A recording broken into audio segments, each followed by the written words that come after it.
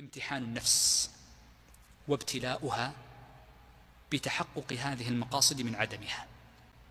فإن هذه المقاصد إذا لم توجد فمعنى ذلك أن صومك ناقص فراجع قلبك ولم يكن عملك كاملا لا في المقصد مقاصد المكلفين أو لم يكن كاملا من حيث الأعمال.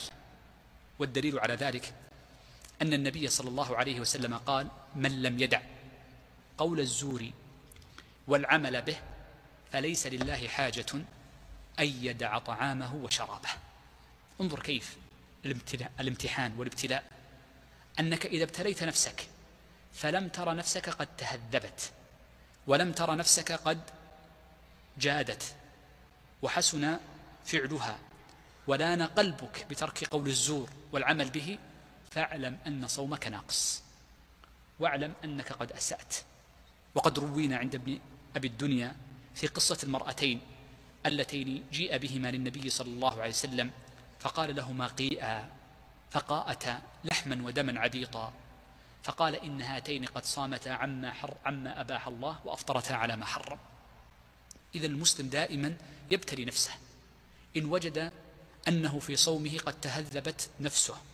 وقد حسنت أخلاقه وقد ترك السيئة من الطباع وأنه قد عني بما ما يلين قلبه فلان قلبه وبكت عينه عند ذكر الله عز وجل فإنه حينئذ قد أحسن وعني بالمقاصد وإن كان ذلك بضد ذلك فإنه حينئذ ليس بالمجيد بل يجب عليه أن يراجع قلبه قبل ذلك وأن يراجع ما تعلمه فإن فيه نقصا وليراجع أعماله.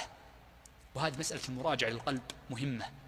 وليعلم المؤمن أن نفسه دائما لوامة له. دائما تلومه أنت فيك نقص أنت فيك عيب أنت فيك خور. ومن ظن في نفسه الكمال فقد بدأ في السقوط. ولذلك يقول الحسن البصري رحمة الله عليه لأن تجلس مع أقوام يخوفونك حتى تأمن خير من أن تجلس مع أقوام يؤمنونك حتى تخاف. وجاء في الآثار أن ما, ما خاف النفاق أحد إلا أمن منه ولا أمن من النفاق أحد إلا وقع فيه. فالمقصود أيها الإخوة أن من أعظم ما نستفيده من معرفة مقاصد الصيام ابتلاء النفس وامتحانها وقياس صدق قبولها. ولنعلم أن الله عز وجل لا يجعل الناس سواء في الأجر. فقد ثبت في مسند الإمام أحمد أن النبي صلى الله عليه وسلم قال إن الرجل يصلي وليس له من صلاته إلا نصفها إلا ثلثها إلا ربعها إلا خمسها إلا سدسها إلا سبعها إلا ثمنها إلا تسعها إلا عشرها.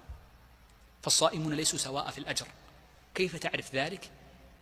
بمعرفة مقاصد الشرع. وهل أثرت وهل أثر الصوم عليك فيها أم لا؟